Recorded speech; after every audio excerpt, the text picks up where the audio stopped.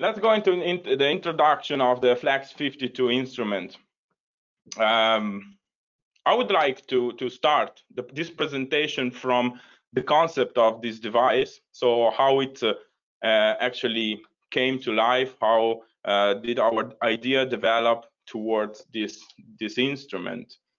To give you a little bit of background and to figure out together what kind of uh, issues it solves. So what kind of benefit it brings to you. The concept of this instrument uh, started from, let's say, a consideration on the actual uh, round instrument. So, you know, the old good round pointer gauges that we all know, we're manufacturer of those. So um, you're, you're all into the business. So you well know that despite me uh, new multifunction display or more sophisticated device, uh, the analog instruments are still uh, a good um, a good portion of the market. So they're still widely used on instrument panels in general. That's why um, mostly because of their simplicity and because they offer really a simple and cost-effective solution to display a sensor value. So as you imagine, you won't like to have a multifunction supergalactic display just to show a fuel level. So uh, these devices are actually widespread in the market already, so from old installation, but as well as in new installations. So they're still widely used. And sometimes, as you see, maybe from the picture here in the background, uh, dashes are just full of constellation of these instruments. So let's say a downside of it is that also they require quite a lot of space for the installation on your panel. This not doesn't imply only marine, but these instruments, uh, most of you are, are, are in marine, but uh, these instruments are not just uh, designed for marine, but for several other markets, several other applications. You see few of them here so marine is for sure a big portion of that between powerboats and sailing boats, but there are also other other uh, applications like construction machinery, for example, in general industrial machines, uh, material handling machines, uh, two-wheelers, so motorcycles, power sport, out aftermarket. Let's say in general, as you know, everything, so every engine or every machinery that has some sensor on it basically requires an instrument to read that value. And what is better than an, an analog instrument? So a simple pointer pointer instrument. So we have different markets where these devices are present, and this directly implies that uh, different markets bring different needs. So being so diverse, the application of, of the round instruments you can imagine that many variants are defined for them. So because there are different different needs for every machine has a different different need. So also depending on the country where it's sold, which might have an impact, for example, on the unit of the instrument. So the general idea that I want to say is that uh, there are really diverse diverse article defined. So they they might differ in dial scale. For example, you you know perfectly. For example, our uh, Viewline portfolio, which is our analog instrumentation uh, portfolio family, there are really uh, a wide number of of, of um, part numbers of articles. They differ in dials. So for example, we have 3,000 RPM tachometers, 5,000, 6,000, all the way up to 8,000. Uh, temperatures might go from Fahrenheit or Celsius, depending on the scale. And uh, most notably, every instrument has to match that specific sensor. So these devices are not uh, typically configurable. So if you have, uh, let, us speak, uh, speak about fuel, for example. We have different sensors available. We have the European um, ohmic value, so the resistance value, which is the 380, but we have the American, the 24033, we have the Japanese one. And also not to speak about uh, any other instrument uh, sensors that are on the market. So every sensor need to have a specific gauge that reads that sensors. And then there is also uh, differences in terms of uh, aesthetical customization. For example, the bezel, so bezel shape, bezel color. Uh, all in all, all I want to say is that as reference, just to give you an idea, our entire Viewline instrument portfolio is composed of more than 300 articles. So you might know it from the catalog or let's say we have really, really, really a lot of part numbers available. This has some consequences, as you as you surely know. So having so many so many articles available brings also some downsides, so some some side effects. First of all, the stock value, so the stock maintenance. Uh, whether you're a dealer, whether you're a shop, whether you're also a boat builder, for example, talking about spare parts, you need to always have a huge stock for keeping all the variants available um, in case they're requested. But then uh, if, if this is not the case, then you have some delay time to market because you don't have that specific gauge that is required. And by the way, for my experience, that's always the case. Uh, so you have to order, and there is the whole process to get it, to source it, and to deliver it to your customers. So, and this is just in case, in the case that that instrument is still available, because as surely most of you know, many times, um, so from time to time, some some instrument variants are discontinued, and that's a that's a fact.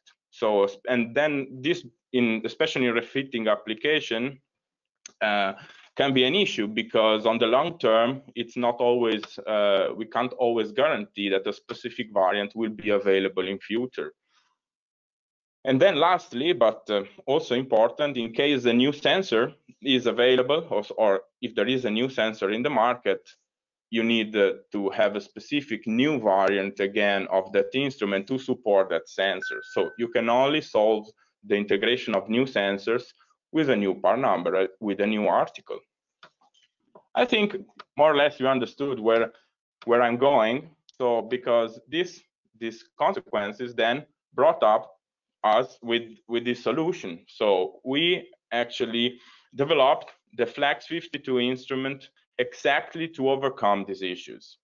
So we, we like to call this, this device the universal instrument or the all-in-one device uh, I think you got uh, you got why we, we like to call it like that because uh, the goal of this instrument is to have a unique device that can ideally replace all the other analog instruments so that can ideally replace or replicate all the other analog instruments with a single part number only this was done uh, just shortly with uh, embedding a color display into the standard um, analog pointer gauge housing and uh, with a powerful hardware that it's fully configurable in order to support different sensors.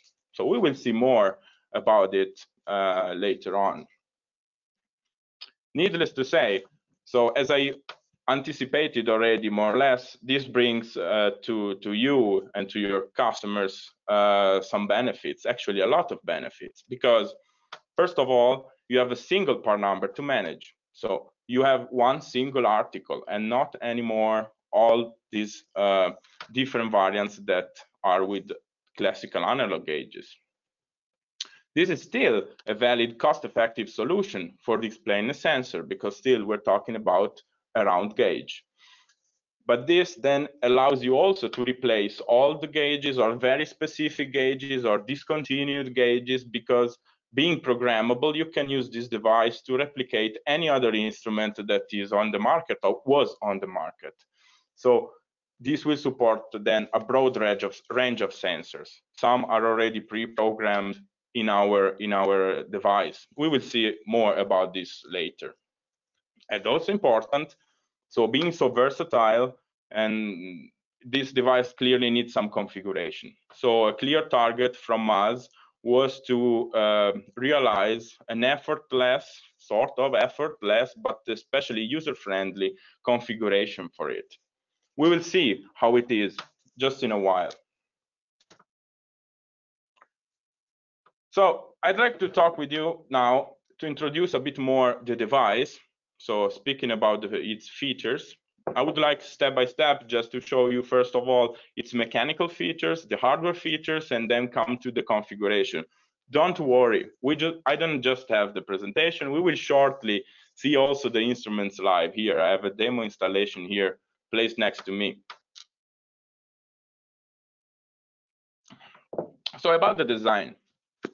Um, this instrument is uh, from the aesthetical or mechanical point of view at least, uh, is a direct carryover from our actual uh, analog devices, from our Viewline portfolio. But the difference is that instead of the pointer, so instead of a dial and a pointer, we implemented a TFT, a display, and uh, in particular 1.44 TFT, sun readable because clearly this is an outdoor device and uh, it must be sun readable. This is a hard must. Uh, so no more mechanical movements. So like the pointer. So this is also an advantage of the instrument. And for the rest, for the housing, we we've kept uh, the whole the, the old Viewline housing. This is also good because it allows also from a mechanical point of view, from an installation point of view, to one to one replace the old instrument with the new in case of uh, a refitting, let's say, or a substitution. Uh, but also in case of new installation, let's say the 52 millimeter hole is uh, is quite the standard uh, holes cut cut size of the, for the panel. So the lens in front of the of the display is a PMMA with an anti-fog coating, which is also important, especially in marine. The housing, as I said, is a 52 millimeter diameter polycarbonate with flame retardant housing the installation, so be, having the same housing, the installation uh, possibilities are the same as it was uh, with Viewline and in general as it is possible with the round instruments. So it's mounted through the hole thanks to the spin lock concept that you see here also represented or it can be mounted flash flush on the panel. So for this is required a mounting kit, a mounting kit for flush installation, which is optional. It's already available for, we have it for Viewline. And again, similarly to, to the other analog uh, instruments, uh, you have bezel customization. So in our portfolio, we have nine different bezels available, different in shape and different in color. We have triangular, round, and square bezels in three different colors, chrome, uh, white, and black. So I'm sure you're familiar with our Viewline um, instruments, so this will be nothing new for you. Um, again, about features, so some certification.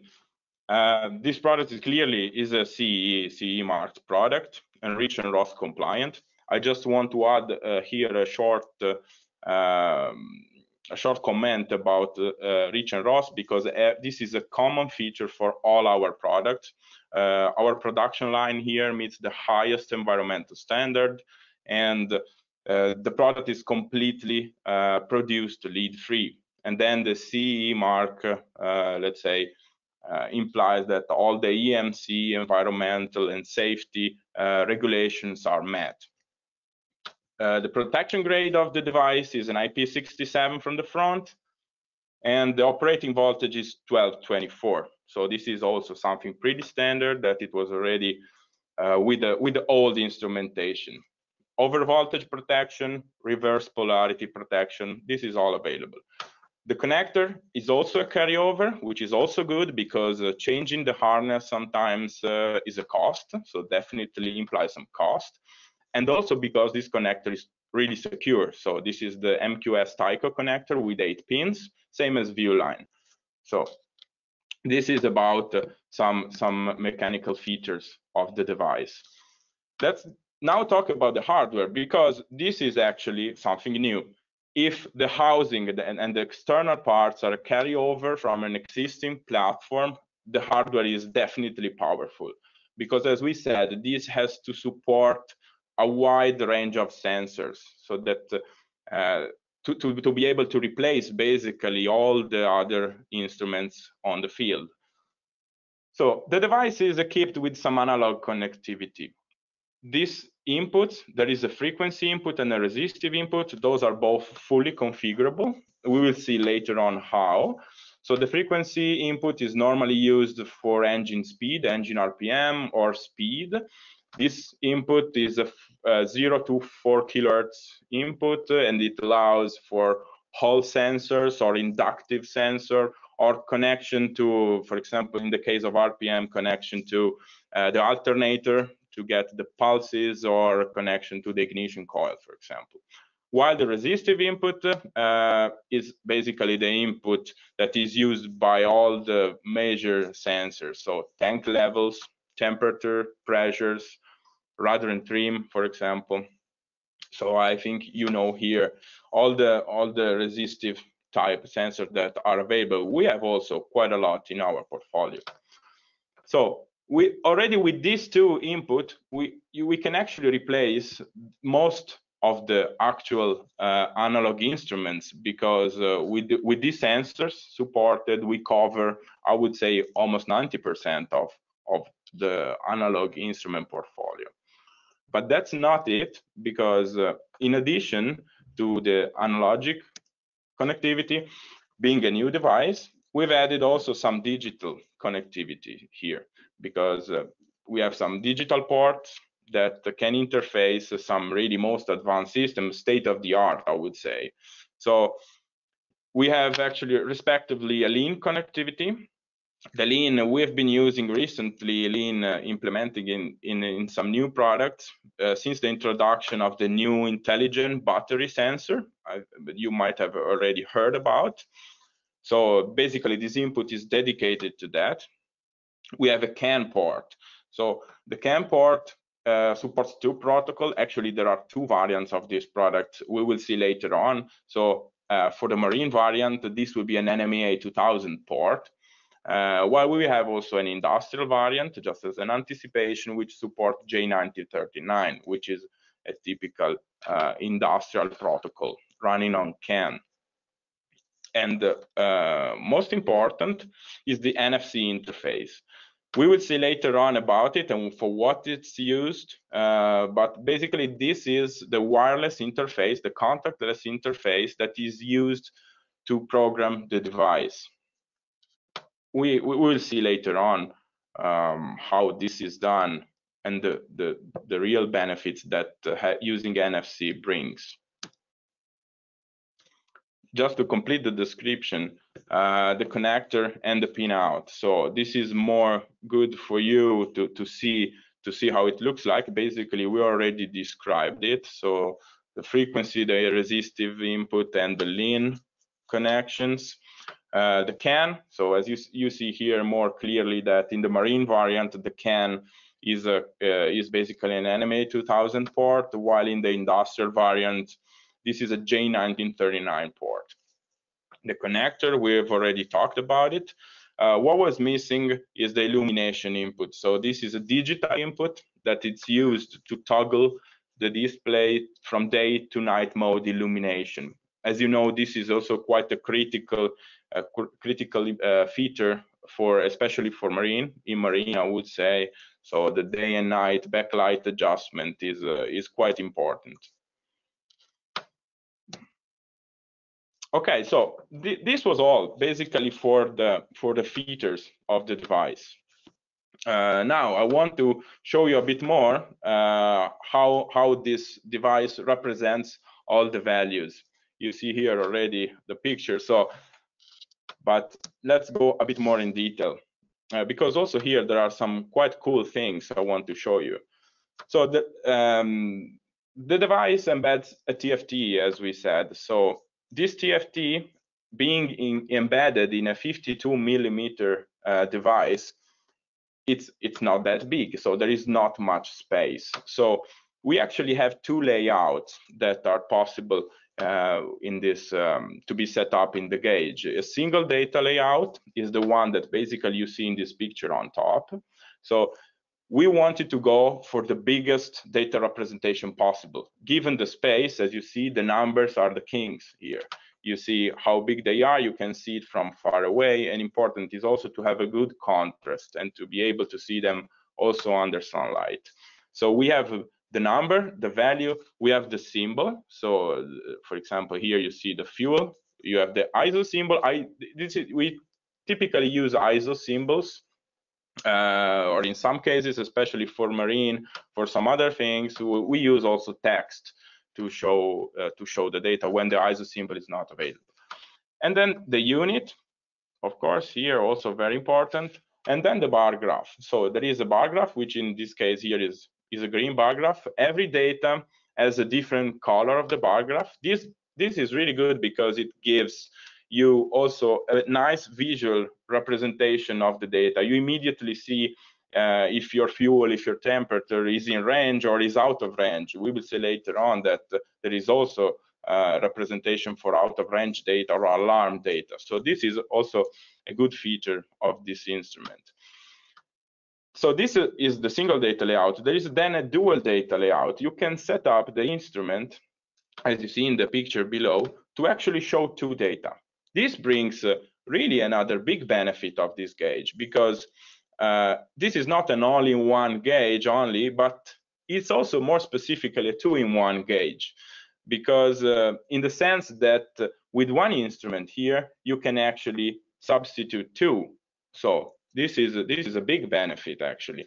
And you see here how it is represented. So here the bar graph is not there to avoid to overcomplicate the, the screen, but numbers are still quite big. I would say that we stopped at the dual, a dual layout because uh, going for more was, in our opinion, too much for such a small instrument.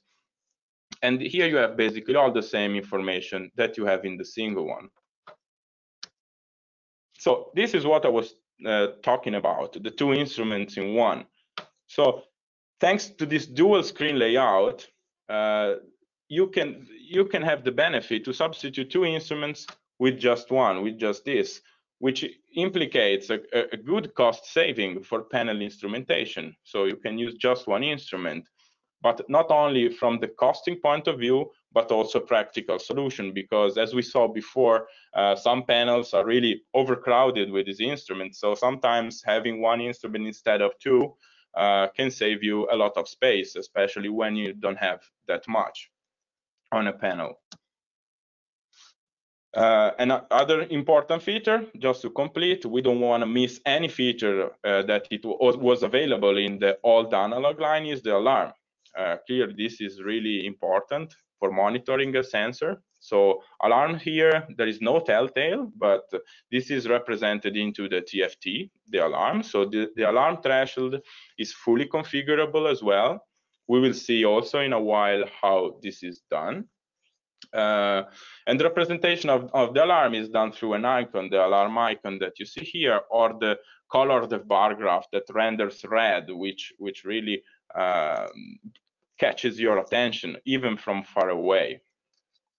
Uh, while, let's say, for the dual layout, since there is no bar graph, actually, the, the digits will be turning, turning red in this case. So let's come then to the um, nice configuration features. So for such a general device, I think you understand that the configuration is uh, the most important part here, the most important feature of this instrument. Uh, here we have really a big innovation, uh, and this is the contactless configuration. Uh, you might have already heard about it because we have already implemented it in our LinkUp gateways. Uh, and by the way, we've just been granted an innovation award at IBEX uh, for that devices. But I would say that the big innovation actually uh, lies in the in the uh, configuration method, which is this this very same one implemented in the Viewline Flex. So what it is about? Um, to configure a device, there is a companion app, there is a smartphone app. We will see later how it looks like, but um, this is a, a, a, very easy and user-friendly way to program it. Everyone can do it. You don't need a specific hardware. We'll see how how it is uh, how it is working later. So this app is available, of course, for both the platforms on the stores for for Apple for uh, Android. And basically, all you have to do is to do your configuration on the smartphone which is presented in an easy and intuitive way. And then once you're done, you just have to click on apply and just tap the smartphone onto the instrument. So like this, and the and the device is instantly programmed. So I will show you just uh, just in a while how it is done in our demo installation over here. Another great feature, another great feature of this device is the powerless configuration. So what I've just described, this uh, NFC-based configuration, contactless configuration, can be done also without having the gauge powered. This brings a really great advantage because um, imagine when you're a dealer, when you're a shop, when you sell uh, an instrument, be having just one single part number, one single article, you just take it, you program the device, you don't have to connect it to power, so you can just take it off the box, you can program it, put it back in the box, and just sell it. So this is really, really a great advantage. So no power is required, and also no pairing is required. So the beauty of, of using the, the NFC instead of, for example, Bluetooth is that no pairing is required prior to the to the configuration. And this is also a great advantage. You can just open and hypothetically also serially serially program more than one device in a shot. We'll see more about it when I will show you the app just just in few minutes. But uh, uh, I want to show you what is possible to to configure with the app. So the display layout. So basically, what we already discussed. So the display layout can be can be selected, single or dual. The gauge type. So you need to tell you are a fuel, you are a temperature, or so you have to program the, the gauge type and the gauge instance. The instance is basically the engine number in case of an engine uh, parameter or a tank number in case of uh, tank levels. So this is fuel one, this is fuel two, for example. And then the sensor calibration, because as we said, the hardware supports all the sensors. So it, you have to tell the instrument which sensor is connected and which characteristic it has. And also then, lastly, the alarm threshold, as discussed. Some other settings are available, uh, the illumination intensity, for example, so uh, day and night for both uh, the, the situations, and then the units. Just a short overview uh, before showing you live the, the devices, the gauge type that are available. So for the marine variant, these are all the um, uh, gauge that you can basically substitute, that you can replicate. You see the, the list is complete, so no analog, mm, let's say for example, Viewline variant is left off. Uh, we go from fuel level to fresh or wastewater, trim, coolant, boost, all the temperatures. And, and we also added some new because having the NMEA 2000 connectivity, of course, allows to, to get more data. For example, uh, GPS data, uh, uh, clock, speed over ground, course over ground, engine hours. So we, we don't have to forget that part of the analog instruments, normally there is the engine hour also, engine hour counter also, which is a very important uh, device. Uh, also, I would say wherever there is an engine, it's important to to to have the en total engine hours. This is also available, and the engine hour counter is done internally in the instrument, so it can completely substitute that device too. So finally, um, let's see it in action. So let me move shortly to the uh, other uh, demo uh, installation I have here so that I can show you the devices. You should be able to see them now. All right. So here is how the devices look like. let me move there just to show you all the instruments. So this is what we've been talking about right now. Here you, you see uh, different instruments with uh, different uh, also uh, bezel mounted on them. You see the, the, the chrome, you see the, uh, the white bezel, you see the black triangular, you see the black round, and you see how the GUI looks like here. So uh, I have here some sensor demo sensor behind here, so I can I can show you. You can see here the bar the bar graph moving. Here, so here we have programmed, for example, a fuel gauge, a rudder gauge, fresh water. These are just some examples. You see different values have a different uh, bar graph color. Uh, this one is red because you see I, I, programmed before an alarm. So here you see that this one now has an alarm. Here. The rudder angle, which has this uh, this different uh, bar graph settings. So this is vertical, representing the rudder, left and right.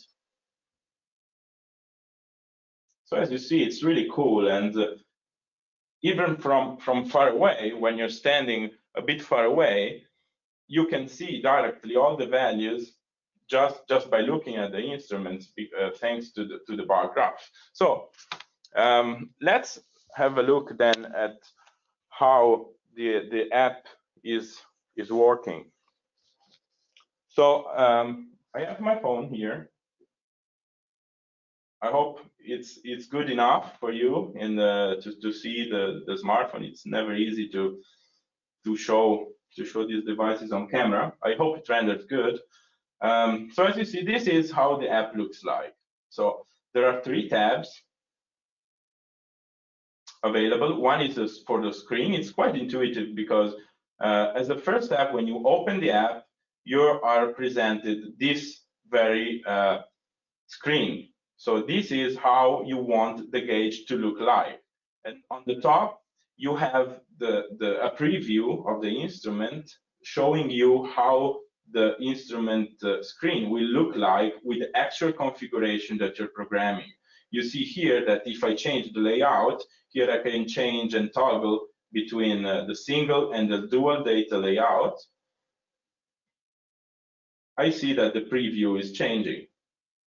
So basically here we, we, you have to choose how the, the display, the screen will be composed. So first of all, as we said, choose the layout.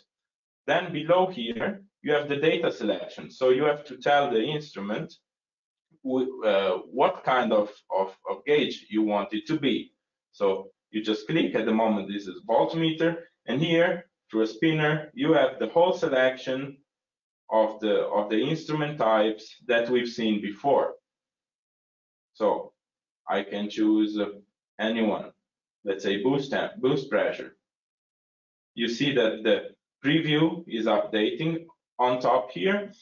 So I have to program the gauge type, the instance. So this is instance one. I have to say which which uh, instance is that if the engine one, engine two, for example, this is up to four. Then the unit, for example, here for for the, for the pressure, we have bar, PSI. Uh, so we can select the unit and also the bar graph. So this is this is useful because uh, depending on on the sensor you have connected, so you you can choose you can set up the bar graph. So what when you want to consider the bar graph to be to be full. So if it's the range basically. So if it's a two bar, a five bar, for example, and then you can also set an alarm. So you can just activate it. You activate it here, you go in, and then you type in the alarm value, I don't know, one bar. And that's it. So here is basically how you configure your instrument. Uh, first of all, not to forget, you always have to read. So you have to press read here. This is automatically happening when opening the app. And then you just have to put the, the, your smartphone on top of the lens here to have the gauge read. So you see that now this is a fresh water instrument as it is represented here. And you see that every the app is then telling me the entire configuration. So you just have to read, tap on the device, and that's done. Then the same applies when you want to write. So say that this rudder angle instrument, I want now to be a trim. I can just press trim, I can press apply, I can put it on top, and now the instrument is showing trim. So now we just configure this device to be a trim gauge. This is, let's say, the first, the first uh, part of the app. There is the second tab, which is the input tab, which allows you to configure the sensor that is connected to this specific gauge. So if everything is off, the instrument will consider that the, the value is coming from NMEA 2000.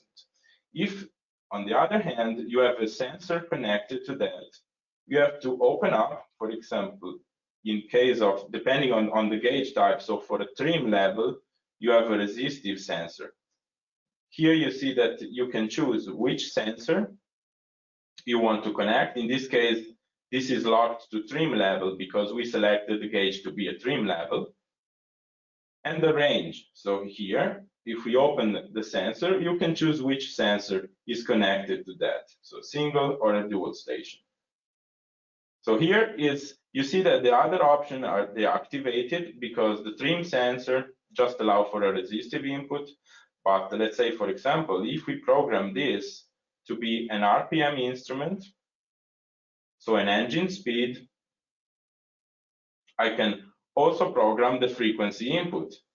So here, the sensor can be configured. This is an RPM sensor. The range here is also good. As we talked, there are different, with classical instruments, there are different dial scales. So this is basically the dial scale. You want to say that the maximum revolution of your engine, or let's say the dial, the old dial of the instrument is 5000 RPM. This has an impact on the bar graph again. And you then, you just program it. The last one is the IBS sensor, so the battery sensor. This is also uh, um, a sensor that we have introduced recently, with also with the LinkUp device. Uh, here you have the chance to directly connect this sensor to the instrument. So this device can also become just a battery monitor.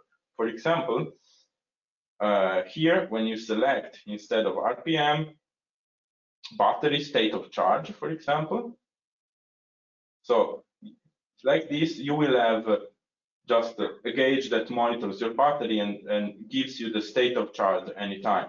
And when you go here, you see that the resistive and frequency input are grayed out. You cannot open it, but you can configure the IBS sensor. So that's it about the, configuration of the device. Let's see a little bit also how for example, here we see you always have to first read because before I was reading this instrument. So before you always have to read the instrument you want to program to have always the actual uh, data here. And then you change the configuration. So let's see how the, mm, for example, the dual screen looks like. I can program it. And you see that here, now the instrument is programmed. I can I can change here to show. So in this case, when a dual screen is selected, the part below is just doubled. So you will have some selection to do for the for the upper part of the dual screen, and the same selections are just replicated below for the part below of the screen. So you see how easy is really to change it. Now let's say you, you are seeing dashes here right now because I don't have a sensor connected to that. So this is how it renders where no when no data is coming. So I just have here a sensor connected, as you see, for one for, for, for in this case, this is fresh water only. So this is how how the um, programming is done and how the dual screen looks like. As you see, the dual screen is really good because it allows you to have uh, uh, to substitute one instrument with two. So with just this, you have two two uh, sensors displayed. So I think that this was was good to show it to you. Uh, we can do some other playthrough. Just I really want that it's uh, it's clear to you how easy and how really effortless is the configuration of the devices. This is really instantaneous. Uh, so you see, it's really it's really easy.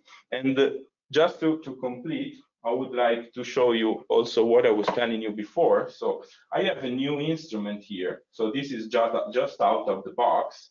This is unpowered, so this is has no connection, as it would be out, out, out of your warehouse. So you take the general instrument here, you take and you read, and you see that the programming, the reading and the, and, the, and the writing is also possible without the gauge being powered. So this is really cool. So you can read, now we see this is all of these gauges by default uh, out of the production are set to be voltmeters. And let's say a customer is coming that want to have fuel level. I set the fuel level sensor. I set also the, the, the sensor that I have connected, so I can program it as I like. And I can just program it.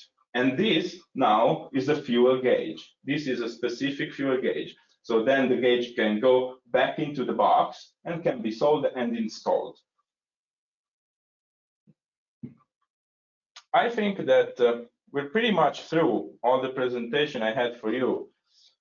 Um, I would like to uh, show you again maybe some other values just uh, just really it, it, it's so it's so easy and it's so satisfactory also to program that I would like you to see the gauge uh, working and all these colors just seen on the screen. I hope that uh, uh, from this webinar and from the screen resolution, this renders good because uh, uh, when you have it in your hands, it really looks good. Uh, please ensure to see as soon as possible a live sample of this uh, of this device. Um, all right, so we can, I think, go back. I have just to complete just a couple of um, other information for you before before closing. I think we're reaching the hour time that we have started. We have planned for this uh, presentation. So um, just um, last informations for you before before leaving is the kits.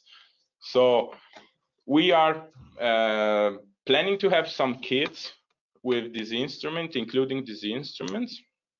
I anticipated you before the marine variant and the industrial variant. Uh, we will have these two here you, you see we have we will have a total of four uh, part numbers uh, for this uh, instrument one is the marine so NMEA 2000 all the analog input uh, the LIN Uh, connection for battery sensor and uh, uh, uh M12 NMEA 2000 connector which is on the harness. So this is embedded on the harness. So this cable is included in the packaging. The industrial version, on the other hand, as I anticipated before, will have the CAN port configured as a J1939 protocol. For the rest, it, it has the, the same features as the Marine, so analog input and the LIN for battery sensor. And then there are two other part numbers here, which are kits.